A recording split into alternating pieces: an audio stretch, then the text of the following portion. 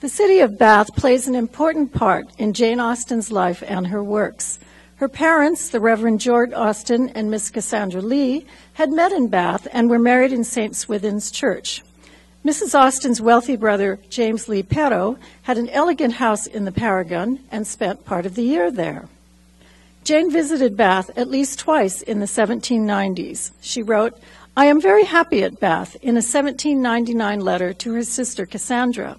She mentions that there is a public breakfast every morning in Sydney Gardens, quote, so that we shall not be totally starved.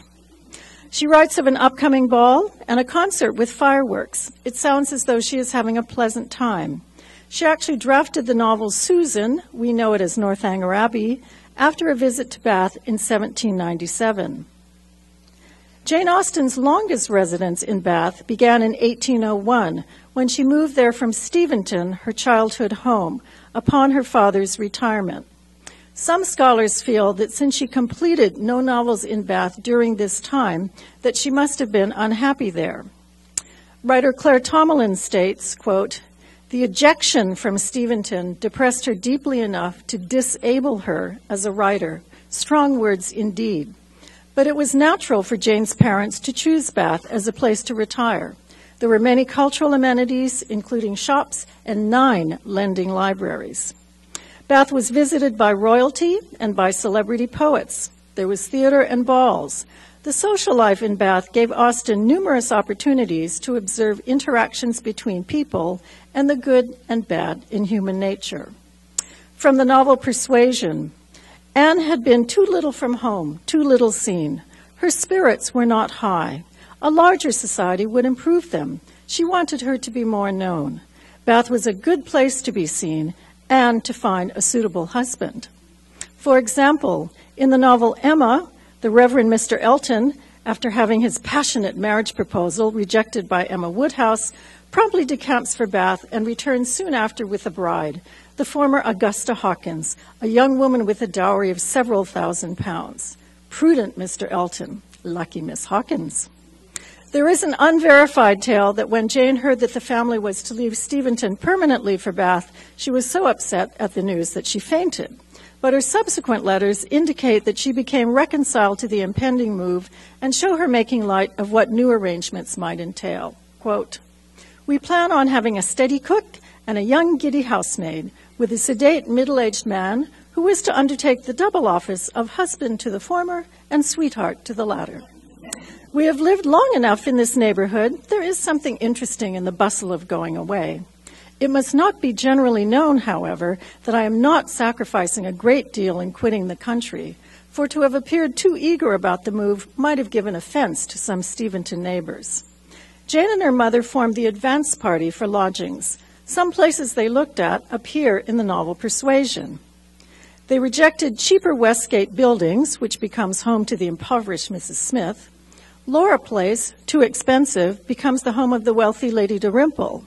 They ended up with their lease at 4 Sydney Place, convenient to the center of town and adjacent to the countryside. I envision Bath as a city for the Regency equivalent of today's snowbirds, or say later Victorians going to a seaside resort. Tea shops and the pump room provided ample opportunity for young people to socialize and to appraise potential spouses. Young women's dowries and young men's incomes were topics of much discussion.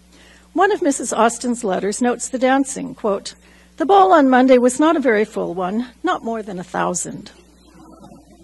Northanger Abbey's heroine, Catherine Morland, is excited about her first trip to Bath, and the city is portrayed as most enjoyable. Her eyes were here, there, everywhere as they approached its fine and striking environs. She was come to be happy, and she felt happy already. While in Persuasion, poor Anne Elliot arrives in Bath in the rain, her romantic feelings in a jumble, and upon arriving at her vain father's rented house in Camden Place sighs, Oh, when can I leave you again? Reverend Austen's death in 1805 meant a reduced income for Mrs. Austin, who had to move her family at least twice, each time to cheaper and less fashionable lodgings. In these altered circumstances, enduring visits from their wealthy relations could not have afforded pleasure. Thus, from the letters comes the famous phrase for the anti-Bath biographers, quote, we left Bath with what happy feelings of escape. Jane and her mother and sister then lived in Southampton, courtesy of Brother Francis, and then in Chawton at the largesse of Brother Edward.